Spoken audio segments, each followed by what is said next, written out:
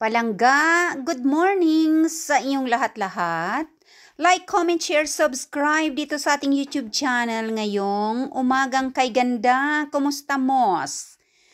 Gagawa tayo ng simpleng pancake sa aking style na pagluluto. Ayan. Ang aking mga sangkap, very simple lang. Hindi tayo maglalagay ng asukal at hindi rin tayo maglalagay ng baking powder kasi very simple lang na pancake. Ayan. So, mayroon lang tayong konting asin, may itlog, may vanilla sugar, at flour at gatas. Yan lang ang ating gagamitin para healthy ang ating food. Ayan. Ako, kapag almusal lang dito sa bahay, wala akong measure-measure or timbang-timbang kasi saulado ko na at estimated ko na yung aking lulutuin. So, itong aking apat na sandok na harina ay apat din na malalaking pancake ang magagawa ko dito. Ayan. So, hindi ko na ano, sinasala-sala pa yung harina kasi powder na siya. O, diba? Simple, madali, at para hindi mabagal ang pagluluto. Ayan ang ating konting asin. Yan. Shout out sa inyong lahat-lahat dyan na mga nanonood. Ito ang vanilla sugar. O, ayan, isang kutsarita din. Yan na yung pinakaasukal kasi hindi ako maglalagay ng asukal dahil kapag kakainin na yung pancake ay maglalagay din naman ng marmalade. So, ang marmalade ay matamis na din. So, kaya hindi na ako naglalagay ng asukal. Alright, so lalagyan natin ng dalawang itlog. At huwag ninyong pipisain yung itlog sa gilid ng bowl kasi baka mayroong maliliit na shell ay mapunta sa ating sangkap. O, di ba? Ayan, sa table ninyo, pipisain ang itlog or di kaya sa ulo ninyo, kung pwede. O. Wag lang kumatas sa buhok kasi magiging malagkit ang buhok. Ayan, so basag-basagin ang itlog yellow, ang itlog igyok, basag-basagin mo na. At estimated ko na rin ang aking fresh milk sa paglalagay kasi kabisado ko na ang aking mga measurements ng aking mga sangkap. So, wala na tayong timbang-timbang kasi alam nyo, ang palangging ko dito ay tinitimbang niya talaga bawat sangkap niya ayon sa kanyang pagluluto or paggawa kasi para hindi siya mag-mistake ng kanyang lulutuin. Eh ako, saulado ko na. Ayan. So, dito sa aking mixture na ito ay apat na malalaking pancake ang magagawa ko. Ayan. So, i-mixer na natin para maging smooth at okay na okay sa all right ang ating mixture. Ayan.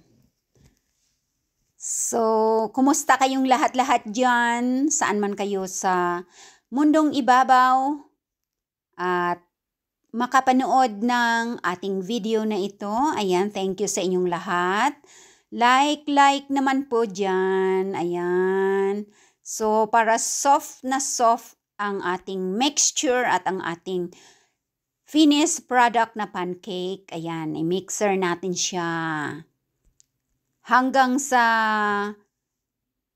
tamang-tama na talaga yung kanyang pagka-mixture. Ayan, at pwede na natin siyang lutuin sa ating mainit na kawali. Ayan. At itong moments na to, pinapainit na rin natin ang ating kawali para dire-diretso na ang ating pagluluto ng ating simple. Ayan. Ganyan lang siya kalapot. Konting milk pa para hindi siya thick yung mixture.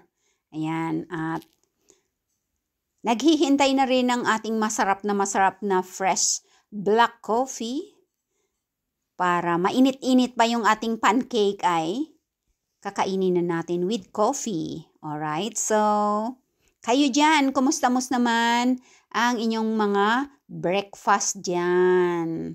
Mainit ng kawali natin, so butter, ayan, healthy-healthy na butter. Ang ating ipapahid sa ating mainit na kawali. Ayan, healthy butter, hindi mag stuck ang ating mga kaugatan dahil healthy butter po yan. So, mainit na. Painit na ng painit. Pa-brown-brown natin ang ating butter. Bago natin ilagay ang ating mixture. Ayan. Brown-brown na.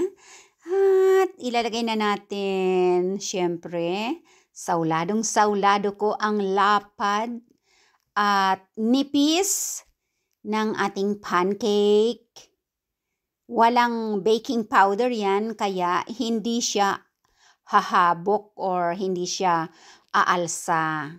So, flat na flat ang ating pancake. Pwede rin naman kung gusto nyong makapal at mahabok ang inyong pancake, maglagay kayo ng baking powder. Ako hindi ako naglagay kasi simple lang ang breakfast natin. Ayan, oops. Ayusin ang pagbaliktad? Yes! Look at that!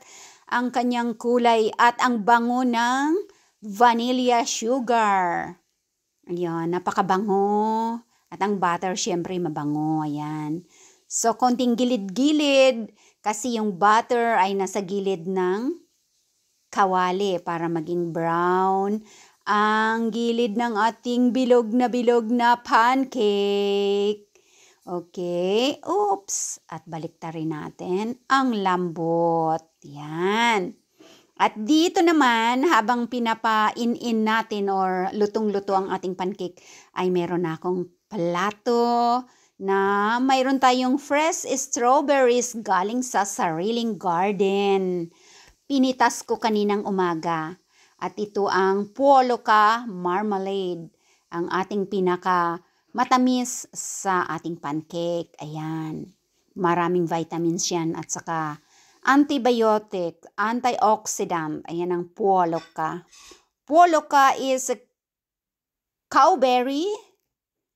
Cowberry, yes, correct. At mapipitas sa malalapad na forest ng Finland.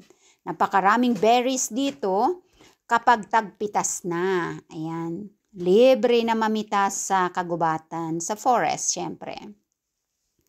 Ayan o. Oh. So, very simple. Ayan, konting arty-arty ng ating breakfast para ubos ka agad. Ayan, bida-bida. Saglit lang yan sa palangga. At syempre, bago ako magtawag ng palangga na kakain dito, ay aayusin muna natin ang ating pancake. Ayan. Alam ninyo, mga palanggingging, kapag nagluluto ako ng ganito dito, paminsan-minsan, kapag magre-request lang ang palangga. Sabi na, feel na ano, parang nakaka, nakakaamoy daw siya ng pancake. Sabi ko, aba, nagpaparinig. Sige, sabi ko mamaya, pagkatapos kong ano, mag-edit ng aking video at gagawa ako ng pancake. So, ayan, at inuuna ko, nakatatlo, nakatatlo na pancake ang palangga natin. Ayan na ang pabulak, pabulabulaklak na fresh strawberries. Galing sa sariling garden, no, 'di ba? Kung may itinanim, may aanihin tayo. Ayan. Ready ready na ang ating na isa pa lang na pancake kasi nasa kawali pa yung iba. Ayan. Para ito sa ating video ngayong umagang kay ganda. Ayan, kainan na. Ready na yung ating kape. Maraming maraming salamat sa inyong lahat-lahat dyan. Gumawa na rin kayo ng inyong sariling pancake. Very simple at depende sa inyo dyan, saan man kayo naroroon sinta. Kung ano meron kayong berry dyan sa inyong ref or fruit sa inyong ref para paarti-arti, para nakakatakam ang ating pagkain. Ayan. So, maraming salamat ulit sa panunood ninyo sa aking mga members. Siyempre, hindi nakakalimutang i-shout out ang aking mga members. Alam na ninyo yan kung sino-sino kayo. Kainan na tayo at magtatawag na ako ng unang kakain dyan sa unang pancake natin na naluto at nadekorasyonan. Ayan ang puwalo ka. Super sarap na marmalade. Thank you so much everyone and see you again next time. Hasta la vista, baby. Bye-bye.